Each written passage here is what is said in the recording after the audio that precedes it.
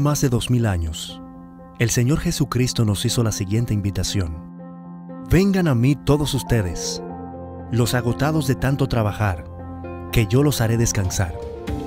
Lleven mi yugo sobre ustedes y aprendan de mí, que soy manso y humilde de corazón, y hallarán descanso para su alma, porque mi yugo es fácil y mi carga es liviana. Después de dos milenios, todos los seres humanos, sepámoslo o no, estamos cansados y cargados. Todos estamos agobiados con cargas que únicamente Cristo puede suprimir. La carga más pesada que llevamos es la del pecado.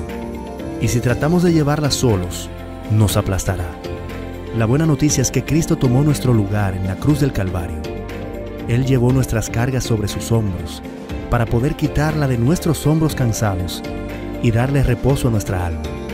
Y para ayudarnos a entender cómo este maravilloso plan divino puede aplicarse a nuestras vidas, presentamos Aprendan de mí, un espacio para conversar acerca de la invitación de Jesús que transforma el carácter. Y ya con nosotros nuestro anfitrión, el pastor Roberto Herrera. Bienvenidos sean todos a su programa especial de estudio Aprendan de mí. Les saluda el pastor Roberto Herrera del Ministerio de Mayordomía de la División Interamericana. Y tengo el gozo de invitarlos a unirse a nosotros haciendo el resumen del capítulo número 8 de este libro de la autoría del pastor Alejandro Bullón y su servidor, Aprendan de mí. El título del capítulo es Mi yugo es fácil. Y quiero contarles que hoy cuento con la presencia de un amigo, de un pastor, de un predicador, de un cantante cristiano, pero sobre todo un hombre que ama al Señor, el pastor Domingo Guzmán. Pastor, ¿cómo te sientes de estar aquí? Muy contento, Pastor Herrera, agradezco infinitamente esta maravillosa oportunidad de aprender, ahora no sé con el libro si es de usted o del Señor, pero aprender de mí. Y me siento muy complacido realmente, es una linda oportunidad poder compartir. Eh, gracias, Pastor. El, privilegio es mío y sé que estos minutos contigo van a ser edificantes. Eh, bueno, nosotros somos parte de todo un proceso de estudio de este libro que estamos animando a todos nuestros hermanos, amigos, para que lo procuren. Gratuitamente está disponible, pueden descargarlo. Aquí mismo en este programa estamos dando opciones para eso, pero usted puede pedirlo al pastor de su iglesia o comunicarse con alguien de la iglesia adventista para conseguir el libro Aprendan de mí. Es un libro, Pastor Guzmán, que está basado en esa invitación que nos hace Cristo a todos. Venid a mí los que estáis trabajados, cargados, yo los haré descansar. Eh, aprendan de mí, que soy manso, humilde de corazón. Lleven mi yugo sobre vosotros, porque mi yugo es fácil, ligero mi carga, tendréis descanso para su alma. Es la invitación de Cristo. Y ahora a usted y a mí nos toca, tenemos el privilegio de analizar esta parte donde Jesús dice, mi yugo es fácil. Mi yugo es fácil. En realidad, cuando Jesús plantea el tema de que aceptemos el yugo que Él está dispuesto a colocar en nuestra vida, Jesús está diciendo eh, claramente que Él es lo que nosotros necesitamos. Y ese es un punto, Pastor Guzmán, con el que ha batallado el ser humano en todas las épocas, ¿no? Desde que Cristo apareció en la escena de este mundo, la gente se ha preguntado, ¿quién es Él? Y la gente ha tenido que contestar esta pregunta, ¿qué voy a hacer con Jesús? Pero Jesús dice, tú me necesitas. No sé si necesitas una iglesia, pero tú necesitas un encuentro conmigo. Porque Jesús sí no tiene duda de quién es Él. Él dice, yo soy la vida, el camino, la verdad, la vida. Eh, ¿No le parece, pastor, que, que esta propuesta de Cristo de que aceptemos su yugo eh, es una clara indicación de que él es exactamente lo que nosotros necesitamos? Fíjese, Pastor Herrera, como dije, es una gran oportunidad la que tenemos para analizar esta maravillosa obra que ustedes han preparado. Y particularmente este capítulo 8 inicia con algo que de lo que usted acaba de presentar puede ser importante que lo recordemos. En el capítulo 8 vamos a encontrar una historia, una historia que particularmente me marcó Francisco, un joven que lo tenía todo, familia cristiana, todos los elementos que cualquiera pudiera anhelar en la vida para sentirse feliz, contento, eh, rodeado de todas las cosas buenas, eh, entre comillas, ¿no? Sin embargo, había algo interesante. Francisco tenía lo que en términos humanos podemos decir todo el andamiaje, el trasfondo, pero había algo que a él le faltaba y era haber establecido una real relación con ese Cristo que tal vez él conocía de oídas, como dice la palabra, pero que no tenía una experiencia personal. Y cuando vinieron los problemas serios en su vida, lamentablemente esa experiencia personal que él necesitaba para poder resguardarse, no la pudo sustentar, no la pudo tener y lamentablemente los problemas lo agobiaron hasta el punto triste de que terminó muerto. Eh, eso me dice a mí la importancia que tiene comprender mi dependencia de Dios. Cuando nosotros decimos que tenemos una relación con Dios, eso no puede ser simplemente teoría, tiene que ser algo que yo haya llevado a una praxis y debe ser una praxis diaria. No puede ser algo que yo acumule con el objetivo de que de podemos decir, adelantarme para estar de bien. No funciona así. La vida cristiana es una, es una experiencia diaria, es una experiencia especial Y es una experiencia que no depende de mis capacidades, sino que depende de la interacción que yo pueda desarrollar con Dios en mi vida. Y definitivamente lo que plantea este versículo bíblico y particularmente esa sección del texto cuando dice mi yugo es fácil, es para que yo me centre en lo que Dios quiere que yo haga, en lo que Dios desea que mi vida experimente a su lado, siempre a su lado. Me gusta mucho ese enfoque, Pastor Guzmán. Recuerdo que en el Evangelio de San Lucas, en el capítulo 6, se nos cuenta a partir del versículo 66 una experiencia en la que el Señor Jesús estaba rodeado de muchas personas. Eso era algo común durante el ministerio público de Cristo. Y estaba enseñando, como siempre lo hacía, los principios del reino de Dios. Y cuando las personas escucharon que Cristo estaba hablando de ciertos asuntos, no les pareció como un programa muy agradable para su vida. Así que lo que ocurrió fue que muchos de ellos comenzaron a irse, a abandonar a Cristo y esto es importante porque en realidad muchos seres humanos, cuando Cristo llega a su vida, toca la puerta de su corazón y le ofrece lo que Él tiene para el ser humano, hay muchos que dicen, no, eso, eso no es para mí, eso no, es para mí, eso no me interesa. Y Jesús respeta la libertad del ser humano. No es que Jesús sea neutral, no es que Dios no le importe, Dios quiere que tú lo aceptes. Él viene, Él te busca, Él te invita, Él toca tu puerta y quiere que le aceptes, pero Él respeta tu libre albedrío, tu capacidad de elegir, Él te la dio. Y entonces solamente quedaron los discípulos de Cristo y Cristo aprovechó y les preguntó, ¿ustedes también les gustaría irse? Aquí hay libertad, o sea, Dios, eso me gusta mucho de Dios. Dios. Dios nos ofrece, Dios no, nos presenta un plan, pero no está coartando a nadie. Es diferente a Satanás que obliga, domina, eh, esclaviza. Eso, y Dios no hace eso. Pero entonces el apóstol Pedro respondió con una clarividencia que evidentemente vino de, Dios para él. Le dijo, no, ¿para dónde vamos a coger, maestro? Si solo tú tienes palabra de vida eterna.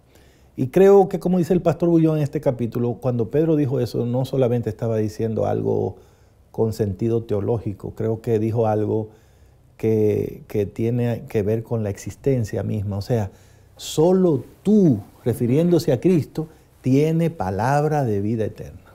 Y, eso, y pastor, es importante resaltarlo desde la perspectiva de la concepción humana de la vida, porque eh, nosotros como seres humanos queremos vivir y usted escucha esa, esa expresión, no, esto es vida en algún momento de, las actividades nuestras. Sin embargo, esa concepción errónea de la vida que tenemos nos lleva a no valorar esas experiencias. Y yo pienso que cuando Pedro recibió esta iluminación de parte de Dios, lo hizo para que nosotros pudiéramos disfrutarla hoy día y entenderla y aplicarla. Solo en Dios existe vida real, vida abundante. Por algo el Señor dijo que Él vino para darnos vida y vida en abundancia. Así es, cuando Pedro dice que Jesús, solo Él tiene vida eterna, está diciendo que Jesús es incomparable, Él es único, Él es distinto. Él no es como cualquier otra cosa o persona que nosotros podamos eh, evaluar o considerar en este mundo. Y es por eso pastor, amigos que nos ven, que la invitación de Cristo tiene la trascendencia que tiene, porque, mire, no es cualquiera que puede venir a mi vida y decirme, déjame que yo te voy a poner un yugo, porque eso de ponerme un yugo es decirme, déjame que yo te voy a controlar la vida. Entonces, si Jesús dice, quiero que lleve mi yugo, Jesús está diciendo, evalúame y vas a ver que eso es lo que tú necesitas. ¿Y por qué, por qué Jesús se, presenta así porque Él sabe quién es, Él es el camino, Él es la verdad, Él es la vida. Mucha gente ha terminado como Francisco, pastor, sí, porque simplemente no han terminado de darse cuenta quién es Jesús. Y como no saben quién es Jesús, no pueden contestar adecuadamente la pregunta, ¿qué voy a hacer con Jesús? Pero Jesús no es alguien que viene a tu vida para dañarla, Él viene para bendecirla. Dios no quiere arruinar tu negocio o tu empleo. Dios quiere bendecir ese negocio, ese empleo. Dios quiere transformar tu carácter y Él tiene todas las credenciales para hacerlo porque es el camino, es la verdad, es la vida. Cuando Jesús te ofrece su yugo, te está diciendo, te ofrezco encontrar el camino, te ofrezco conocer la verdad y te aseguro que te llevaré a la vida. ¿Puede haber un mejor programa que ese, pastor? No, no puede haberlo, jamás. Y el punto aquí radica en también entender que quien me está diciendo eso, si desde la perspectiva eh, espiritual yo comprendo que soy su hijo, que es mi padre el que me está hablando, que quien me está diciendo esos elementos, esas directrices, es alguien en que yo puedo depositar toda mi confianza plenamente en él, no habría ningún problema en, al igual que Pedro, reaccionar y decir, pero ¿para dónde voy a coger? Sino por ahí que tengo que ir. Este es el camino, este es el mejor, eh, esta es la mejor opción que tengo para que mi vida sea realmente abundante, para que mi vida sea realmente eh, rica en un sentido espiritual. Entonces, digamos en este primer segmento, Pastor Guzmán, que nos debería quedar cristalinamente establecido que el yugo de Cristo es lo que necesitamos. No precisamente por el yugo, sino precisamente por quien pone, el, yugo. pone el yugo. Porque es Jesús el que nos está hablando. Y como ese yugo lo necesitamos, es bueno, es una bendición, sería bueno que después de esta pausa que vamos a hacer, evaluemos cómo es eso de llevar el yugo. Jesús dice que es ligero, pero tal vez deberíamos echarle una mirada y reflexionar en esa expresión. Quédense con nosotros aquí en el programa Aprendan de mí. Vamos a venir en unos instantes para continuar con el pastor Domingo Guzmán y el resumen del capítulo 8, Mi yugo es fácil. Estás viendo Aprendan de mí, la invitación de Jesús que transforma el carácter.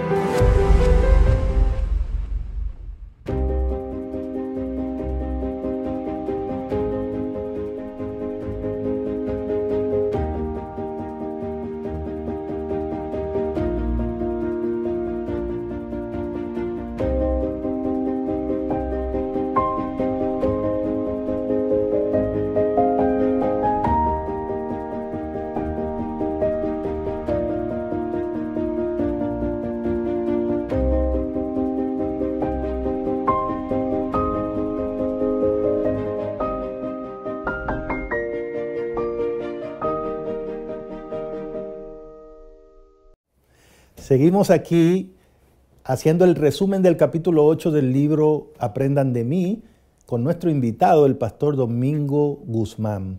Pastor, quedamos de acuerdo de que el yugo de Cristo funciona debido a quien es Cristo.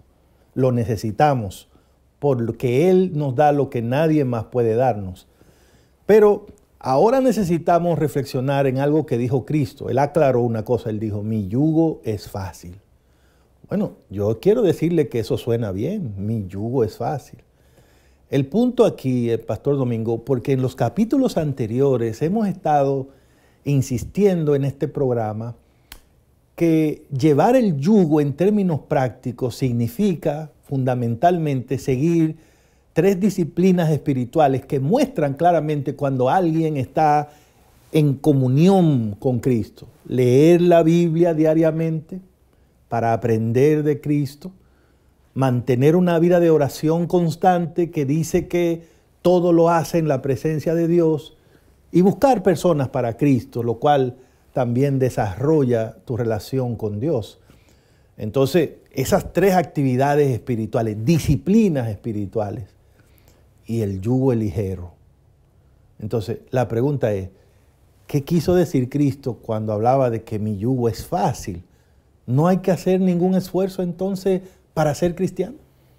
Bueno, yo pienso, pastor, que lo primero que nosotros tenemos que establecer aquí de plano es que es un yugo, porque yo creo que la figura del yugo, eh, en términos así tácitos, pudieran darnos un problema mental y es el, no, el no, poder tal vez comprender, porque es que, es que yugo a mí no me suena con facilidad. Mm, claro. de, paso, Eh, yo sé que muchos tal vez pudieran estar pensando en elementos que en su momento fueron un yugo para ellos. Y cuando tú piensas en ese carro que te dio muchísimos problemas cuando tú eras joven y que vivía quedándose en todos los lugares, tú mismo decías, esto es un yugo para mí. o tal vez alguien pudiera estar pensando en este momento en alguna relación pasada que tuvo donde no le fue bien y Me fue un libré problema. de ese Me yugo. libré de ese yugo. Entonces, de repente aparece Jesús diciéndonos que su yugo es fácil y lógicamente tú vas a reaccionar y vas a echar hacia detrás y vas a decir, pero ¿cómo que el yugo? Puede haber algo que se llame yugo que sea fácil. Y yo pienso que si partimos desde esa premisa, vamos a tener que, esclarecer algunos detalles. En primer plano, humanamente hablando, no hay ningún yugo fácil. Por esa razón nos resulta difícil aceptar palabras como esa. Pero si yo comprendo cuál es la función primaria, incluso humanamente hablando del yugo, me voy a dar cuenta de que tengo que analizarlo mejor. ¿Qué busca un yugo realmente cuando lo usamos? ¿Para qué lo usamos? Bueno, la, la- la- la- la imagen original viene Sí. de- del mundo agrícola. ¿Del mundo agrícola? Es, es un instrumento que se usaba para unir en el trabajo, ¿verdad? Sí. Dos bueyes, digamos. bueyes. Un buey experimentado, digamos ya de cierta edad. Me gustó por ahí ya. Sí, con un, un buey joven Ajá. Que todavía no tiene toda la disciplina para el trabajo, Ajá. que no sabe caminar derecho, Exacto. haciendo los trazos bien, Exacto. que tiene mucha energía y quiere andar por ahí brincoleando, y lo ponen con aquel buey que ya está experimentado, y para que aprenda a hacer el trabajo, lo unen con el yugo. Entonces, el yugo tiene sus complicaciones porque te hace estar en un lugar, pero es también al mismo tiempo un instrumento que te une a alguien con unas ventajas que tú no tienes y que con el tiempo tú puedes adquirir. Bueno, yo pienso, pastor, que usted, si hubiese sido un avión, lo aterrizó. lo aterrizó. Ese es el punto. Cuando nosotros no tenemos una concepción clara de un aspecto que me están dando, en este caso, eh, como un ejemplo, como una figura, y yo no comprendo bien la figura, lógicamente voy a tener problemas. Y yo creo que eso le ocurre a la mayoría de las personas cuando leen este texto y lo tratan de aplicar, lo tratan de poner eh, en, una perspectiva de, de hacerlo, ¿no? Dice, no, no, no puedo, yugo, esto suena, suena mal. Pero si comprendo esa figura, mira la diferencia. En primer plano, ¿qué me está diciendo Jesús cuando Él me dice a mí que su yugo es fácil? Él lo que me está diciendo es que el, el- el que es fácil es el yugo de Él, no el mío, Mm, ni cualquier otro. ni cualquier otro. Él está hablando de su yugo, no está hablando de mi yugo. Mi perspectiva de un yugo puede estar errada. Cuando yo pienso en yugo, puedo pensar en algo incorrecto. Pero si yo analizo que en primer plano Jesús está hablando de lo que Él quiere para mí, Mi yugo es mi gobierno mi sobre gobierno, ti. mi gobierno mi sobre ti, soberanía. mi soberanía. Dios lo que quiere es, como hacía ese buey, como usted decía, experimentado, enseñarle al que todavía no es experimentado a hacer las cosas Correcto, correctamente, correcto. caminar correctamente, andar en el trazo correctamente. Por lo tanto, como usted preguntaba hace un momento, pastor, hay una obra humana que yo tengo que hacer. Y este capítulo me, me lo está mostrando de una forma tan clara. ¿Cuál es la obra que yo tengo que hacer? Aprender, oiga bien, aprender a someterme Someterme, quedarme ahí donde a, me a toca. estar sí. dispuesto a, a mirar por donde tengo que mirar, no por donde yo quiero mirar, no por, por donde tal vez yo deseo mirar, sino por donde tengo que mirar. Eso, eso es lo que el yugo de Cristo va a hacer en mi vida si yo estoy dispuesto a llevarlo. Ahora, pastor, al lado de eso, muy bien que usted ha dicho, también digamos para aquellos que nos oyen que ser cristiano es un asunto que demanda el más grande y noble de los esfuerzos. Ser cristiano no es un relajo, no es un juego, es un cambio de vida radical, es una decisión transformadora. Eso no es para cualquiera. Dios nos llama a todos, pero no todos tienen la decisión de ser cristianos, porque para ser cristiano hay que hacer esfuerzo. El esfuerzo es correcto, es válido en la vida cristiana. Lo importante es saber dónde hay que hacer el esfuerzo. En el caso nuestro, el esfuerzo no está en vencer a Satanás. En el caso nuestro, el esfuerzo no está en transformar nuestro carácter. Esa es una misión imposible para nosotros. Pero el esfuerzo sí está en mantenernos sometidos a Cristo, en mantenernos en comunión. Y si usted quiere saber si eso cuesta, pregúntese eh, cuán fácil es leer todos los días la palabra de Dios, mantener una vida de oración constante, buscar personas para Cristo. ¿Cuándo fue la última vez que usted le habló a alguien de Cristo? Y muchas personas en la iglesia batallan. Estudios que se han hecho dicen que menos de la mitad de los miembros de la iglesia leen la palabra de Dios en una base regular. Menos de la mitad. Entonces, eh, hay un esfuerzo que hay que hacer, porque la Biblia es clara. Eh, eh, Pablo le decía a Timoteo, ejercítate para la piedad. O sea, eso de ser piadoso, de ser cristiano, eso no ocurre por casualidad. No cae del cielo. No es por gravedad, es una decisión, una decisión intencional, es un proceso intencional que la persona decide someterse al control de Cristo por el Espíritu Santo y el Espíritu de Dios va haciendo ese trabajo. Entonces sí hay un esfuerzo, pero el esfuerzo es en permanecer atado a Cristo. Todo lo demás lo hace el Señor y por eso Cristo dice, mi yugo es fácil, porque lo, imposible, lo difícil lo hago yo. El trabajo tuyo es quedarte aquí conmigo.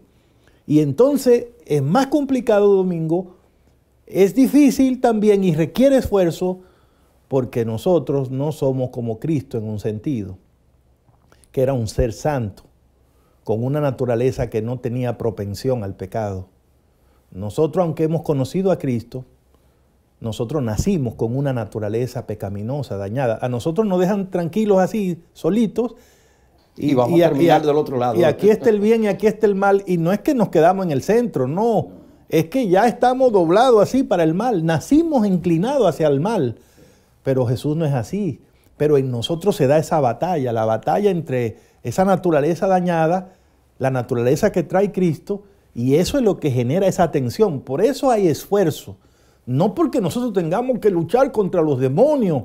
Hay cristianos que creen que Dios lo llamó a, a, pelearse con todas las diablo y a reprender al hermano. Dele gracias a Dios que nosotros no tenemos que reprender al diablo ni luchar contra el diablo porque ya está vencido por Cristo en la cruz del Calvario. Pero si a usted le gusta luchar, hay una lucha que le ofrecemos, que el Señor le ofrece. Dedíquese a mantenerse conectado de Jesús todos los días por medio de la Biblia y la oración.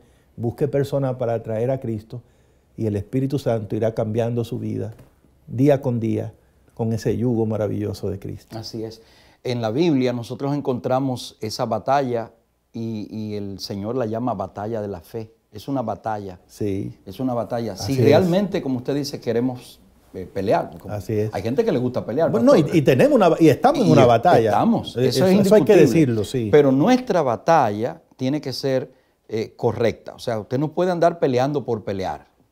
No, no, no. Si usted va a pelear, pelee con algo que usted pueda ganar. Sí. Y la única batalla que usted puede ganar es la batalla de la fe. Cuando usted la, la ejecuta con el yugo de Cristo con el yugo de Cristo, porque entonces es Cristo el que te va a guiar, el que te va a dirigir, el que te va a dar las armas para esa batalla, el que te va a decir cuáles son los elementos que necesitas para salir victorioso.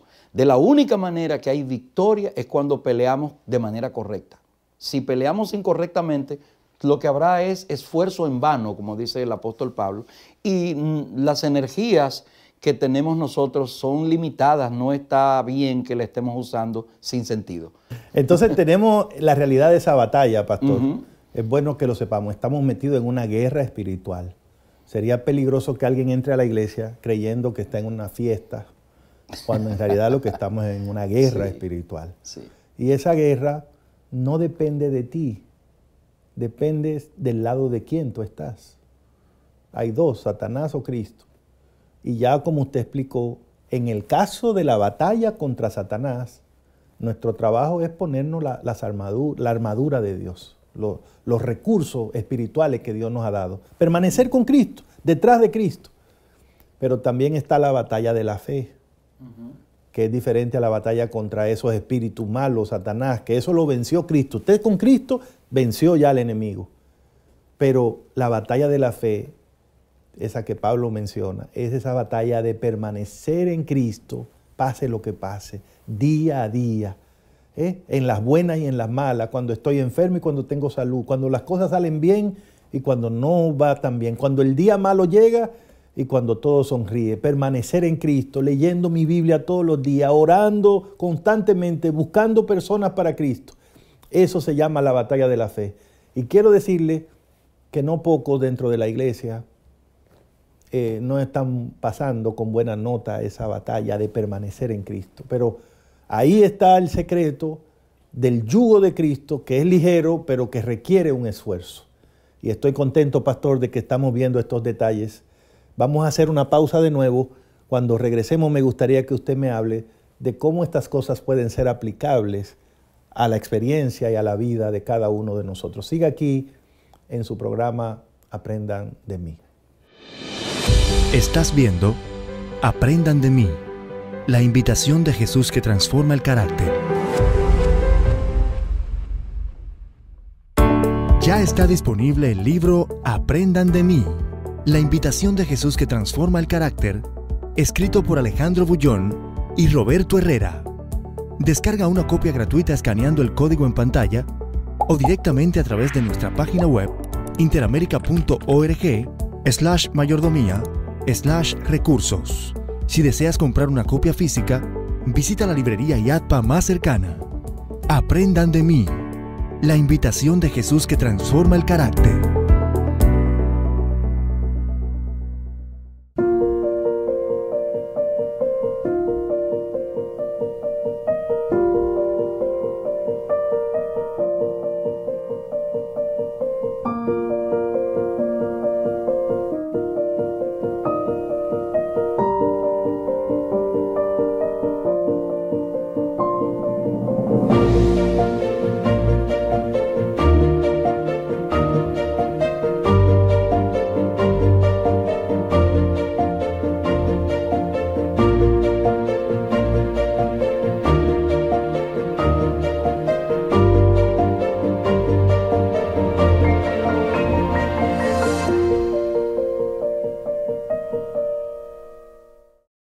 Seguimos aquí en los minutos eh, en cuando nos planteamos cómo este mensaje que estamos estudiando del capítulo 8 del libro Aprendan de mí tiene aplicación a nuestra vida. Pastor Domingo Guzmán, yo quisiera introducir este segmento con una declaración que aparece en la página 107 del libro que estamos estudiando y que es tomada de un libro que se llama Alza tus ojos de la página 22 pero en el libro está en la página 107.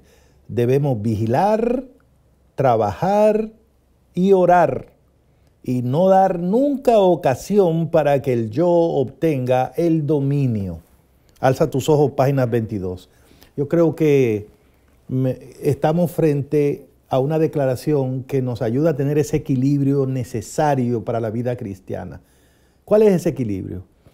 La seguridad de saber que mi salvación está en las manos y en los brazos de Cristo Jesús. Estamos seguros de nuestra salvación en Cristo. Somos salvos en Cristo. Nuestro futuro está garantizado en Cristo. Nuestra vida presente la vivimos en Cristo. Ya no vivo yo, dijo Pablo, ¿verdad? Pero esa seguridad que tenemos en Cristo no nos lleva a vivir vidas descuidadas no nos lleva a vivir vida eh, en la desidia, en el aburrimiento, en el cansancio. Como dice esta cita, constantemente estamos vigilando, constantemente estamos trabajando y orando y no dando ocasión de que el yo nos domine. Y, y pastor, yo esta cita la veo de nuevo en el contexto de esas disciplinas espirituales que hemos dicho. Leer la palabra de Dios diariamente, trabajando, eso quiere decir constantemente trabajando, leyendo mi Biblia, constantemente vigilando en oración, constantemente eh, dando ocasión a Cristo de dominar mi yo. y buscando a otros para Cristo. Yo creo, pastor, que esta es la forma como el yugo de Cristo puede llegar a ser ligero para nosotros. ¿Cómo ve usted la aplicación de este mensaje a nuestra vida? Totalmente de acuerdo con usted, pastor. Eh, la vida cristiana debemos buscar, buscar siempre la aplicación de los conceptos espirituales que podemos aprender en la lectura de la Biblia y ver la manera en que podemos aplicar eso a nosotros. Ahora, en la Biblia hay muchos, muchos ejemplos, muchos matices que, nos ayudan a poder comprender. Y uno de los eh, elementos que me llaman tanto la atención es cuando Jesús nos insta a nosotros a ver el panorama existencial a través del prisma de los niños. ¿En qué sentido? ¿Cómo, cómo los niños miran la existencia? Los niños miran la existencia a través de la confianza. Los niños se, desplayan en confianza, se entregan en confianza.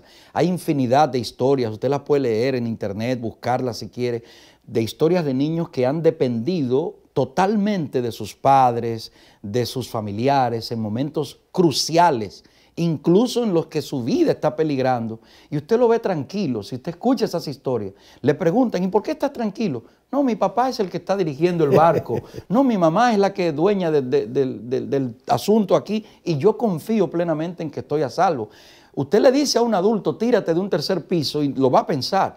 Pero un niño tiene a su padre abajo y le dice, tírate que yo te voy a parar. El niño se va a lanzar porque él confía ciegamente en que ese que le está diciendo que haga lo que tiene que hacer lo va a cuidar, lo va a proteger, le va a dar seguridad, va a tratar de que él esté bien. Y Jesús dice, si tú quieres vencer en la vida cristiana, si tú quieres alcanzar la vida eterna, hay que ser como niños. Porque los niños eh, tienen esa dependencia. Ellos no están preocupados. Usted nunca ha visto un muchacho pequeño preocupado de que porque subió la gasolina o porque hay problemas en la banca mundial. No, no, ellos no se estresan con nada de eso. el niño depende, mi papá resuelve el problema.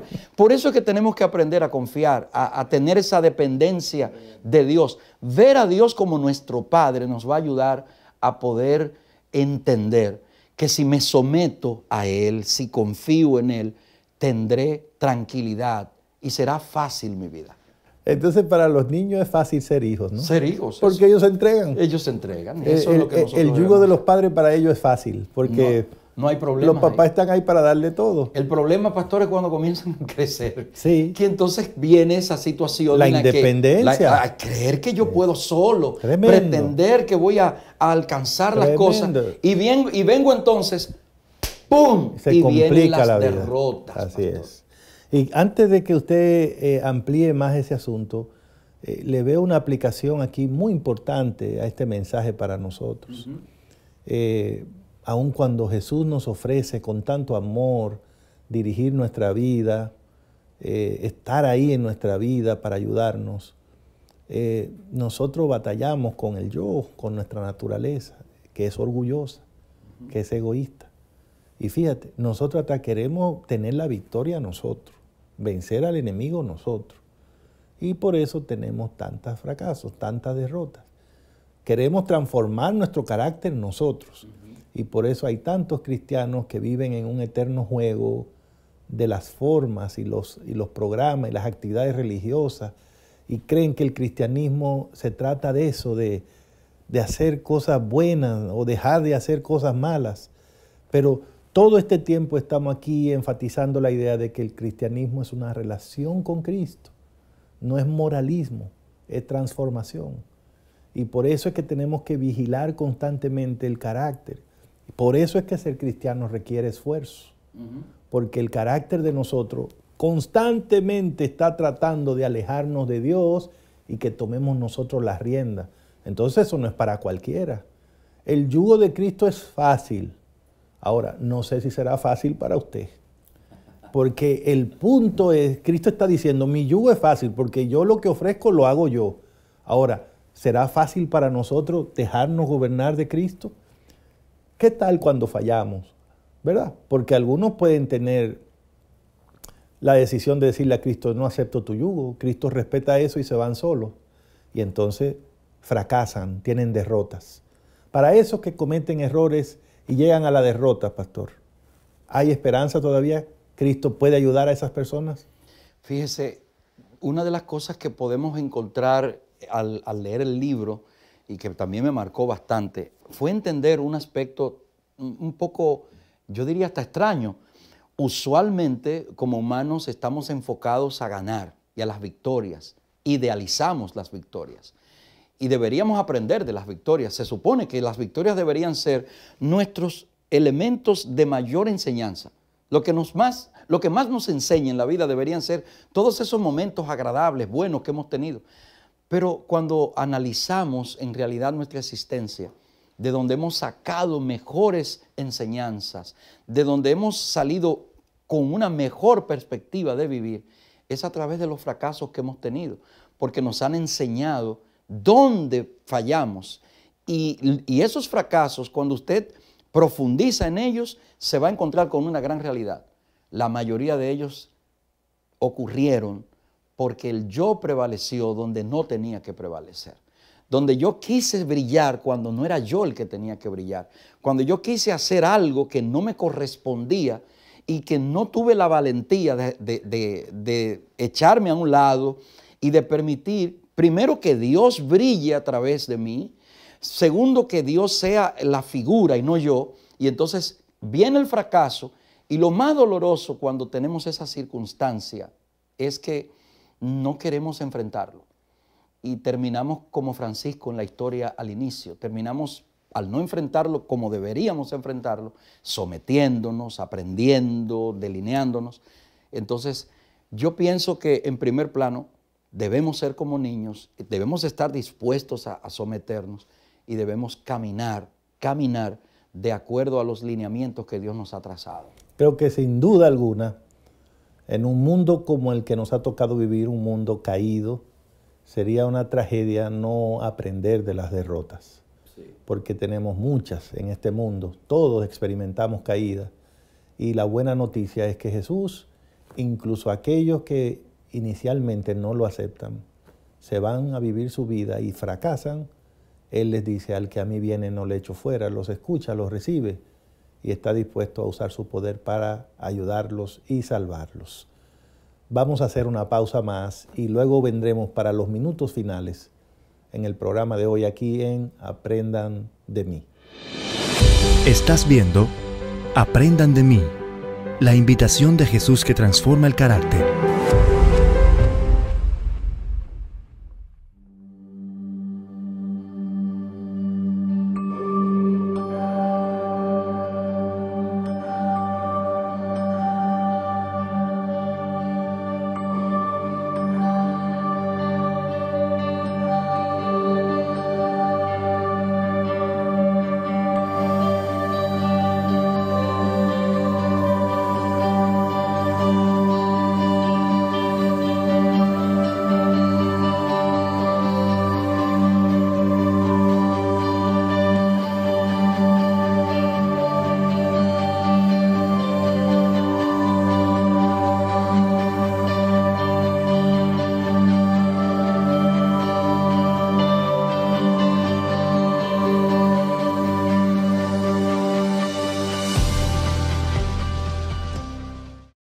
Bueno, hemos llegado a los minutos finales del programa aquí en Aprendan de mí, el resumen del capítulo 8 y hemos tenido la grata compañía del pastor Domingo Guzmán. Pastor, gracias por tu presencia y por tus aportes a ayudarnos a entender este capítulo. Me gustaría preguntarte cuál es tu apreciación final de todo este mensaje que recogió el capítulo y tu mensaje final a la audiencia en el programa.